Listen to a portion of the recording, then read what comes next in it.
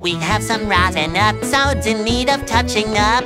We'll right the wrong and adjust the timeline, we're not giving up. We'll fix plot holes and continuity and scrub out any needless cruelty. Join us as we take these episodes for a whole new spin. We've ditched the worst, it's a brick film first. Lego SpongeBob, we read